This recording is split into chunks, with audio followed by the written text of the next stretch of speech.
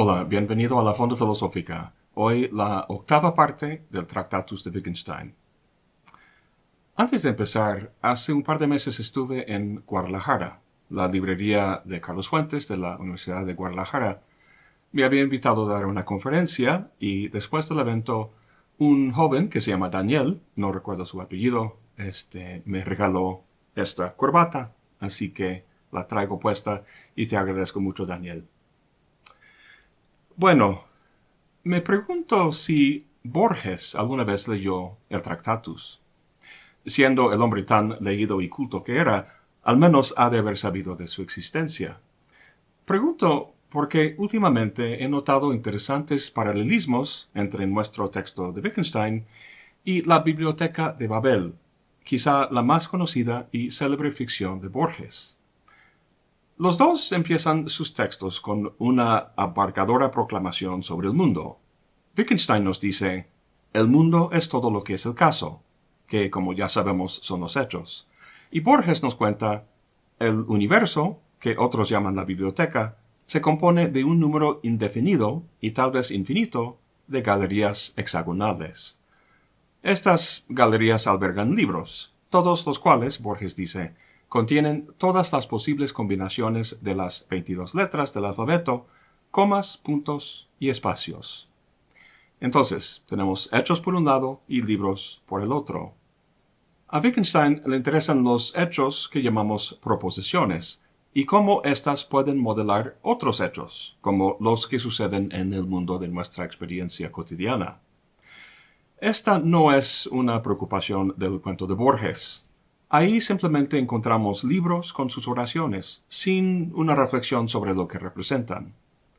A pesar de esta diferencia, Borges habla de las tautologías, el sinsentido y otras cosas que podríamos relacionar con el Tractatus. Pero no lo vamos a hacer en este video. A lo mejor uno de ustedes que estudia la maestría en filosofía podría desarrollarlo como proyecto de tesis. Lo que a mí me interesa son dos cosas. Primero, el narrador es un bibliotecario, uno de muchos al parecer. Los bibliotecarios, como sabemos, ordenan los libros para que puedan encontrarse. En bibliotecas normales eso es toda una tarea, pero a la vez manejable. Los bibliotecarios hacen un trabajo admirable. En la biblioteca de Borges, en cambio, es una tarea casi imposible. No necesariamente por la inmensa cantidad de libros, sino porque la gran mayoría contienen pura galimatías. Recuerda que se trata de todas las posibles combinaciones de las 22 letras. Es por eso que la biblioteca de Borges lleva el nombre de Babel. Bueno, para poder encontrar un libro útil hay que saber dónde están y por tanto hace falta un catálogo. Y esta necesidad nos lleva a la cita que me interesa. Dice el narrador, no me parece inverosímil que en algún anaquel del universo haya un libro total. Ruego a los dioses ignorados que un hombre, uno solo, aunque sea hace miles de años, lo haya examinado y leído. Empecé a pensar en esta relación entre el Tractatus y el cuento de Borges, porque estaba leyendo este libro, The Translated World se llama, y en alguna parte hablan de este santo grial del bibliotecario, el catálogo, y la paradoja que implica.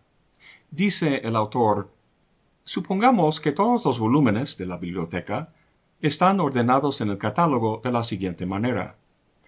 Primero, todas las obras cuya primera letra es A.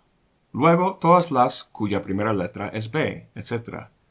En el grupo A, aquellas cuya segunda letra es A, luego aquellas cuya segunda letra es B, y así sucesivamente uno ve claramente que para describir y situar cualquier libro en particular, un catálogo tiene que mencionar todas las letras de esa obra. En otras palabras, para designar cada volumen, el catálogo de Babel tiene que reproducir el volumen entero.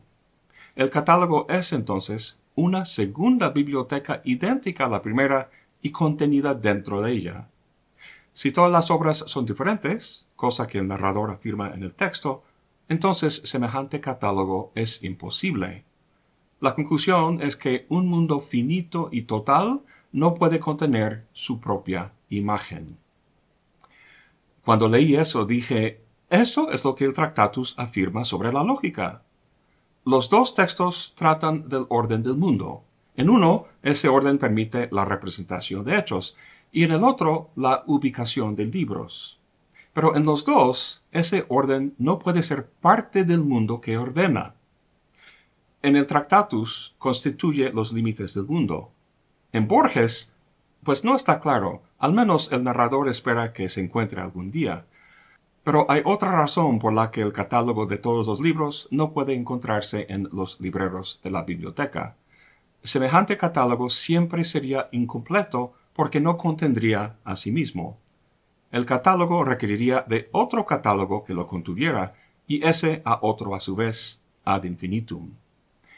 Esta necesaria incompletitud del catálogo es de alguna manera lo que Kurt Gödel probó en su famosa teoría de la incompletitud.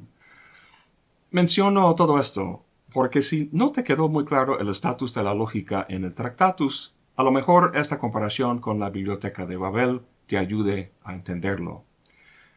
Esas palabras del narrador que cité tienen una nota al pie. Esa es la otra cosa que me interesa tratar en conexión con el Tractatus, pero tiene que ver con la penúltima proposición del texto, así que vamos a esperar tantito.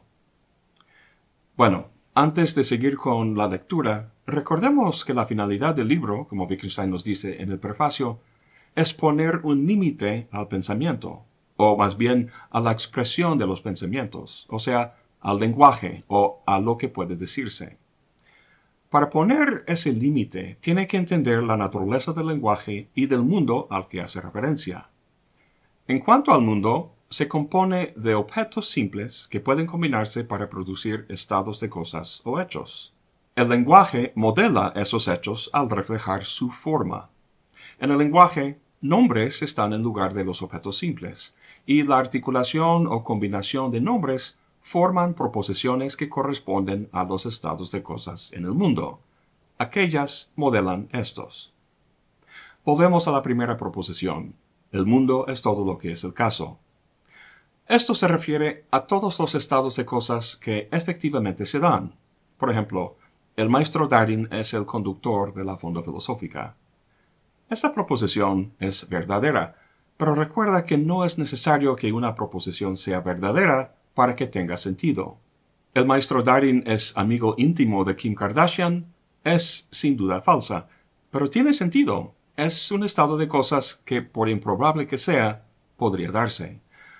Para Wittgenstein, lo que le da sentido a una proposición es simplemente su capacidad de ser verdadera o falsa. Para saber si es verdadera o falsa, hay que hacer una investigación empírica, o sea, ver todos los videos de la fonda para ver si efectivamente el maestro Darin los conduce. Esto, en términos generales, es lo que hace la ciencia, y es por eso que en la 4.11 Wittgenstein dice, la totalidad de las proposiciones verdaderas es la ciencia natural entera. Lo que puede decirse con sentido, entonces, son las proposiciones de la ciencia natural. El caso límite de esas proposiciones es una clase curiosa de proposiciones que ya hemos tratado, las tautologías y las contradicciones. Las primeras siempre verdaderas y las segundas siempre falsas. Dado que no tienen la bipolaridad característica de las proposiciones científicas, estrictamente no tienen sentido. Wittgenstein las llama sin los pero al menos cuenta con un valor epistémico, verdadera o falsa. Esto, a diferencia de todas las proposiciones que se encuentran al otro lado del límite, proposiciones éticas, estéticas, religiosas e incluso lógicas. Las tautologías al menos son verdaderas, pero las éticas o las lógicas no son ni verdaderas ni falsas, y eso porque semejantes proposiciones no modelan ningún estado de cosas en el mundo que la ciencia pudiera investigar empíricamente. Todas las proposiciones del Tractatus son de este tipo. Las proposiciones de la ciencia natural tienen sentido, pueden decirse, pero las éticas, las lógicas y demás no pueden decirse. Bueno, pueden enunciarse, pero no tienen sentido, no pueden decirse con sentido. De hecho, en su introducción al libro, Russell dice, el señor Wittgenstein logra decir mucho sobre lo que no puede decirse. Esta es la paradoja central del libro, una que Wittgenstein plenamente reconoce al final del texto, que ha dicho lo que no puede decirse. La gran pregunta entonces es, ¿cómo hemos de tomar todo lo que dice Wittgenstein si estrictamente, como dice, no tiene sentido? Vamos a tratar ese tema en su momento, al final del texto. De momento, sigamos con la lectura. Las últimas 20 proposiciones del texto, partiendo de la 6.4, tienen que ver con cuestiones de la ética y del valor, temas, como comentamos, que están al otro lado del límite que Wittgenstein ha trazado. Para nosotros, la ética trata del bien y del mal, de los principios que rigen la conducta para que hagamos el bien y evitemos el mal. Muchas veces se expresa de forma negativa, como los diez mandamientos, pero está implícita positivamente en todo lo que hacemos.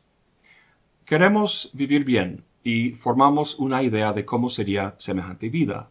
Así que cuando tenemos que tomar decisiones en la vida, estudio filosofía o administración de negocios. Me caso con esta persona o con aquella. Le digo a mi jefe la verdad o le miento. Esa idea nos ayuda en elegir las cosas o condiciones que producirán esa vida buena. Para nosotros, esta noción de la ética parece normal, pero para Wittgenstein tiene muy poco sentido, por dos razones. La primera razón tiene que ver con la naturaleza del valor. La proposición 6.4 dice, todas las proposiciones valen lo mismo. A continuación, en la 6.41 dice, el sentido del mundo tiene que residir fuera de él. En el mundo todo es como es y todo sucede como sucede. En él no hay valor alguno, y si lo hubiera, carecería de valor. Si hay un valor que tenga valor, ha de residir fuera de todo lo que sucede y es el caso. Porque todo suceso y todo lo que es el caso se da de forma casual. Lo que los hace no casuales no puede residir en el mundo, porque de lo contrario sería casual a su vez. Ha de residir fuera del mundo. Pues veamos primero eso de que todas las proposiciones tienen el mismo valor. Si esto es así, entonces también valen lo mismo los estados de cosas que modelan. Una vez vi una caricatura que mostraba un calabozo en el que un bebé estaba colgado en la pared y un hombre muy grande y musculoso que cargaba un látigo. En el rincón había dos personitas viendo la escena y uno dice al otro, ¿Dónde está exactamente lo malo? Si no mal recuerdo, se trataba de ilustrar la distinción en Hume entre el ser y el deber ser, o sea, la idea de que una afirmación normativa, lo que debe ser, no puede derivarse a partir de una simple descripción de lo que es el caso. En términos wittgensteinianos, vemos en el calabozo un estado de cosas que puede describirse con proposiciones, por ejemplo, el tamaño del hombre, el color de la sangre que sale del bebé, la velocidad del látigo, etc. El hecho de que el hombre mide dos metros y que pesa 120 kilos es algo que puede decirse porque la ciencia lo puede comprobar empíricamente. Lo que no está a la vista empírica, y por tanto lo que no puede decirse, es que lo que sucede ahí es malo. El valor, dice Wittgenstein, no puede encontrarse en el mundo. Si así fuera, sería un hecho más, y como sabemos, los hechos son casuales, pueden darse o no. Sin embargo, el valor, el decir, por ejemplo, esto es malo, dice lo que debe ser el caso, no lo que de forma casual puede darse o no. Concibiendo el valor de esta manera, Wittgenstein concluye que la ética no puede expresarse en palabras, que no puede haber proposiciones éticas. Dice en la 6.421, la ética es trascendental. Ocho años después de la publicación del Tractatus, Wittgenstein dio una conferencia sobre la ética. En ella hizo una distinción que va de la mano con lo que está diciendo aquí. Partiendo de la idea de que la ética versa sobre el bien, Wittgenstein dice que empleamos ese término de dos formas, una relativa y la otra absoluta. Si decimos, este es un buen Airbnb, estamos diciendo que el Airbnb sirve un fin predeterminado, un fin que ya ha sido establecido socialmente. Al parecer, nuestra proposición versa sobre el valor, pero para Wittgenstein no es más que una proposición fáctica disfrazada. Versa sobre un hecho. ¿De qué manera? Pues podemos sustituir el término valorativo con otra frase, de modo que las dos proposiciones expresan la misma idea. En vez de decir, este es un buen Airbnb, podríamos decir, por ejemplo, este Airbnb es barato, o este Airbnb acepta mascotas, o permite fiestas, etcétera, etcétera. Lo que estas últimas proposiciones expresan son hechos, estados de cosas que la ciencia puede comprobar. El valor usado así es relativo porque es una función de la voluntad de individuos o grupos particulares, de sus deseos e intereses. El punto es que esos intereses pueden variar. Tomemos el siguiente ejemplo. Llegas a tu coche, donde lo habías estacionado, y ves que alguien está intentando robarlo. Le gritas, Oye, no robes mi coche. El otro dice, ¿por qué no? Y tú dices, porque si lo robas, voy a llamar a la policía y te van a agarrar y meterte en el bote. Hasta ahora vemos que el valor expresado es que robar es malo, pero el ladrón responde, perfecto, eso es lo que quiero, ya que en el bote no pago renta y me dan de comer gratis. El imperativo que le gritaste, no robar si no quieres ir a la cárcel, Kant lo llamaba un imperativo hipotético. Es hipotético o relativo, como diría Wittgenstein, porque cambia con el deseo de uno. Lo que le interesaba a Kant era un imperativo categórico y a Wittgenstein un valor absoluto. Semejante imperativo no podría enunciarse por una voluntad empírica, por los cambiantes caprichos de una voluntad ubicada en el mundo fenoménico, sino solo por la razón que se encuentra en el mundo neuménico. De igual manera, para Wittgenstein, para que la ética sea normativa, el valor tiene que encontrarse fuera del mundo de los hechos.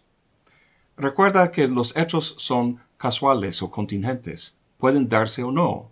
Y recuerda también que las proposiciones no son más que hechos, hechos que modelan otros hechos.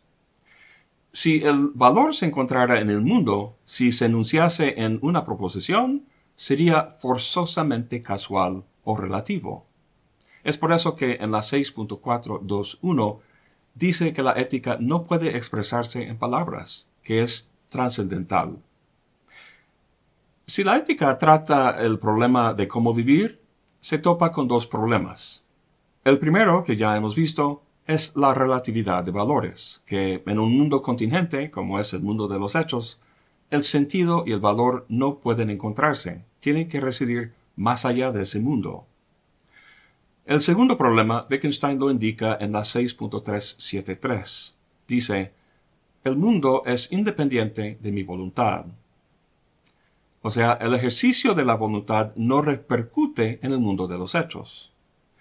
Para entender lo que quiere decir, veamos la proposición 6.423, donde distingue entre dos tipos de voluntad. Dice, de la voluntad como soporte de lo ético no cabe hablar, y la voluntad como fenómeno solo interesa a la psicología. La voluntad como fenómeno es la voluntad empírica que describimos al principio, la que elige diferentes cosas para ir armando la buena vida, cosas cuyo valor, como vimos, es relativo. La voluntad empírica, como el yo psicológico que tratamos en el contexto del solipsismo, es un hecho más en el mundo y gracias a ello puede tratarse con proposiciones científicas, en este caso la ciencia de la psicología. Así que de esa voluntad se puede hablar, pero de la otra, como dice Wittgenstein, no. Esta segunda podemos llamarla la voluntad propiamente ética, o siguiendo a Kant, trascendental. En Kant, la distinción entre lo empírico y lo trascendental es fundamental, y la encontramos aquí en Wittgenstein también.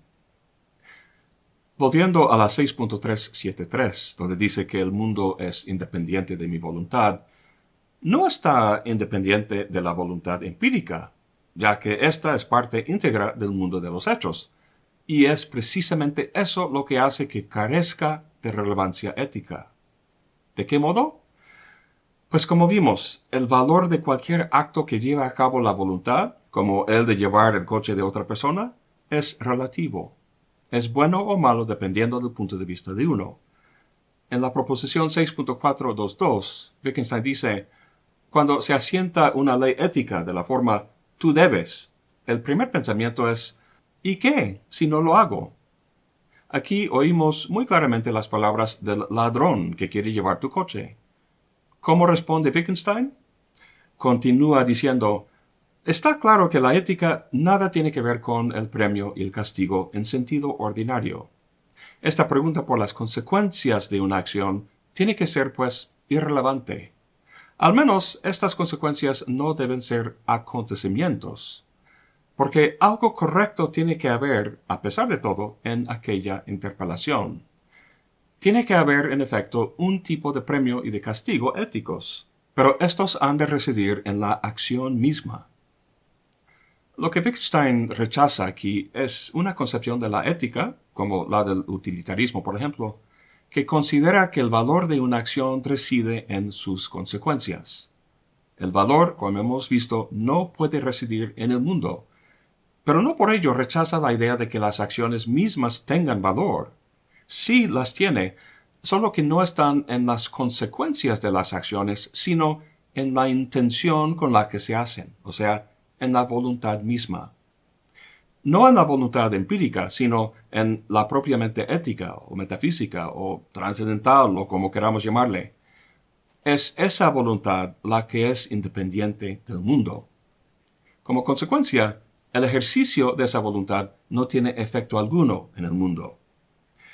Dijimos que si la ética trata el problema de cómo vivir, se topa con dos problemas. El primero es la relatividad de los valores, y el segundo, como acabamos de ver, es que la voluntad en el sentido metafísico o trascendental no tiene vínculo causal con el mundo. Empezamos diciendo que buscamos vivir bien, buscamos ser felices, lo cual consiste en la satisfacción contingente de los deseos que una voluntad empírica de casualidad tenga. Eso para Wittgenstein no tiene peso o relevancia ética, porque los valores ahí son relativos, Solo cuando sean absolutos tienen sentido hablar de la ética. Bueno, debido a todo eso, tenemos que la ética no es algo de este mundo. No puede haber proposiciones éticas, sino que la ética es trascendental. Si es así, entonces, ¿de qué sirve la ética? En la proposición 6.43 empezamos a ver la respuesta de Wittgenstein. Dice, si la voluntad buena o mala cambia el mundo, entonces solo puede cambiar los límites del mundo, no los hechos, no lo que puede expresarse mediante el lenguaje. En una palabra, el mundo tiene que convertirse entonces en otro enteramente diferente. Tiene que crecer o decrecer, por así decirlo, en su totalidad. El mundo del feliz es otro que el del infeliz. El ejercicio de la voluntad no cambia los hechos del mundo, sino el mundo entero, ¿Qué quiere decir con eso? En la proposición donde dice que la ética es trascendental, termina la proposición con una afirmación curiosa. Dice, ética y estética son una y la misma cosa. Y en su conferencia sobre ética que hemos citado, también hace esa equivalencia. Entonces, ayudaría mucho revisar un poco el fenómeno estético para entender más a fondo su concepción de la ética. El problema es que en el Tractatus la única mención de la estética es la que acabamos de mencionar. Sin embargo, en el diario filosófico que mantenía en esa época hay mucho más de donde escoger. La afirmación más relevante es la siguiente. La obra de arte es el objeto visto sub specie eternitatis, y la buena vida es el mundo visto sub specie eternitatis. Esta es la conexión entre arte y ética. De vuelta en el Tractatus dice en la 6.45, ver el mundo subspecie aterni es verlo como una totalidad, una totalidad limitada. Sentir el mundo como una totalidad limitada es lo místico. Aquí tenemos la clave de su concepción de la ética. Para entenderla tenemos que entender qué significa ver una obra de arte subspecie eternitatis. Esa frase latina la reconocemos de la obra de Spinoza. En la ética, Spinoza dice que es de la naturaleza de la razón percibir las cosas subspecie eternitatis, es decir, bajo la forma de la eternidad, con lo cual quiere decir percibirlas no como individuos en el espacio y el tiempo, sino en sus conexiones lógicas con la totalidad, conexiones no casuales, sino necesarias. Visto así, uno percibe la esencia de una cosa. Para Wittgenstein, cuando vemos el mundo bajo la forma de la eternidad, no lo vemos como una simple colección de cosas, ni siquiera de hechos, sino como una totalidad, como el espacio lógico en el que los hechos, los estados de cosas tanto existentes como no existentes, lucen como posibilidades. Bueno, eso suena muy abstracto, como Neo en la Matrix que logra ver más allá de lo que la Matrix proyecta a la Matrix misma, a esa famosa cascada de números verdes cayendo por la pantalla. Suena bonito, pero es demasiado abstracto y la verdad no nos ayuda mucho a entender la naturaleza de la ética aquí a finales del Tractatus. Si volvemos a la proposición 645, la palabra que más me llama la atención no es lo místico, ni tampoco subspecie eterni, sino la primera palabra, ver. Ver el mundo subspecie eterni, nos dice Wittgenstein. Aquí estamos discutiendo la naturaleza de la ética, y específicamente de la buena vida, cómo vivir bien, y lo llamativo es que no habla de actuar de cierta manera en el mundo, sino de verlo. Ver no tiene que ver con la lógica que versa sobre el pensamiento, ni tampoco con la ética tradicionalmente concebida que versa sobre la conducta, sino con la estética que versa sobre el sentimiento. No pensamos las obras de arte ni actuamos con ellas, sino que las vemos, las contemplamos. Este es el verbo que utiliza Wittgenstein en el contexto ético, un verbo que tiene que ver con la experiencia estética. Ahora, vemos todos los días y vemos muchas cosas, pero el simple ver no es necesariamente estético. No todo lo visto es una obra de arte. Hay que ver de cierta forma. En el libro Cultura y Valor, una colección de aforismos de Wittgenstein, habla de justamente esa forma. Dice, Nada sería más notable que ver a un hombre entregado a cualquier actividad sencilla y cotidiana mientras considera que nadie lo observa. Pensemos en un teatro. El telón se alza y vemos a un hombre solo que va y viene por su habitación, enciende un cigarro, se sienta, etc. De tal modo que de pronto vemos a un hombre como nunca podemos verlo, casi como si viéramos un capítulo de una biografía con los propios ojos. Esto debería ser a la vez inquietante y maravilloso. Más maravilloso que cualquier cosa que un escritor hiciera representar o leer en la escena. Veríamos la vida misma. Pero esto lo vemos todos los días y no nos impresiona lo más mínimo. Sí, pero no lo vemos en la perspectiva. Continúa diciendo, solo el artista puede presentar lo individual de tal manera que nos parezca una obra de arte. La obra de arte nos obliga a adoptar la perspectiva correcta, pero sin el arte, el objeto es un trozo de naturaleza como cualquier otro. ¿Qué es esa perspectiva que el artista nos ayuda a ver? Tomemos una pintura o una pieza musical. Son compuestos de diferentes elementos, notas, armonías, figuras, colores, etc., si tomamos una nota o un color y lo consideramos en su particularidad, vemos que en sí mismo no es significativo, no tiene valor musical ni valor pictórico. Es sólo cuando los elementos se relacionan entre sí en un sistema, constituyendo así una totalidad, que cobran valor estético. Vistos los elementos en sus conexiones entre sí, la obra es vista como una totalidad. Es vista, en pocas palabras, subspecie aterni.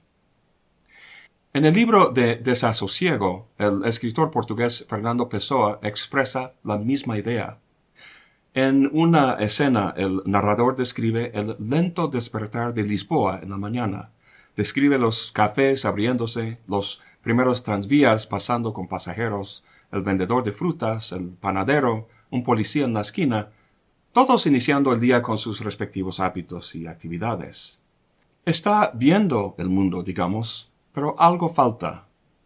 Luego dice, aquí tengo el libro, luego dice, ojalá fuera yo alguien que pudiese ver esto como si no tuviese con ello más relación que el verlo.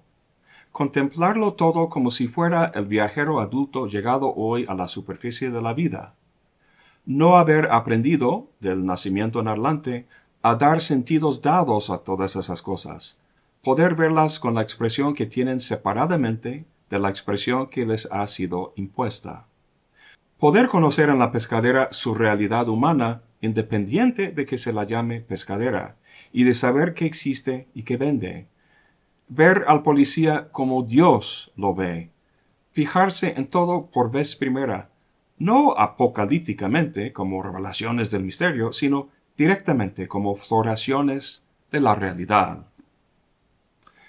En medio de este curioso estado anímico, suena la campana de la plaza, lo cual regresa el narrador a su estado normal.